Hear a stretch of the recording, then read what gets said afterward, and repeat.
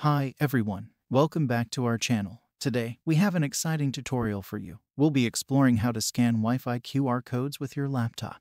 In general, there are two methods to establish a connection to Wi-Fi. You can either input the pre-configured password, or if you're unaware of the password, you have the option to scan a QR code for seamless connectivity. This QR code can be generated from any mobile device already linked to the specified Wi-Fi network. So, let's dive right in.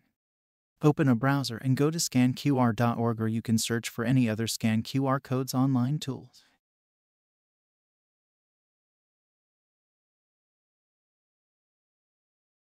You can now drag and drop the QR code or browse to where you have saved it.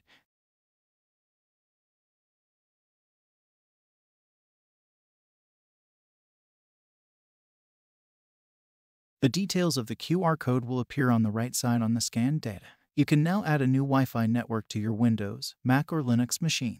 Myself am on a Windows machine. Just search for Wi-Fi settings in the search box.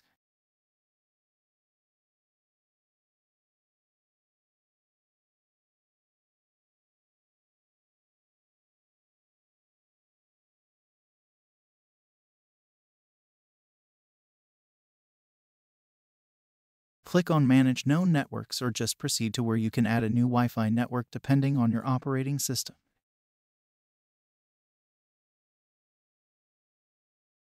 Go to the Scan QR code data and copy the network name, which is after the S letter.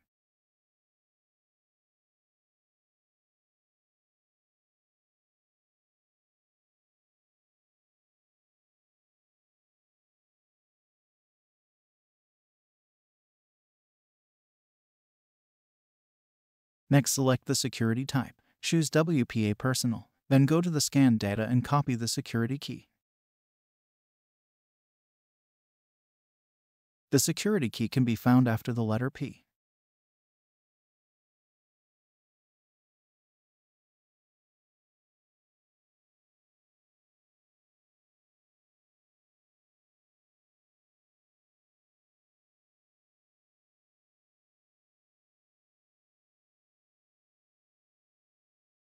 Save the new network and you can tick the connect automatically if you want.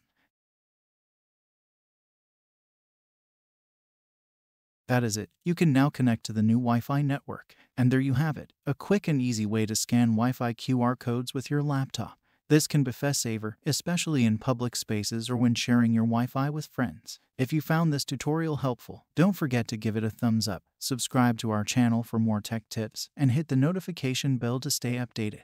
Thanks for watching, and until next time, happy scanning.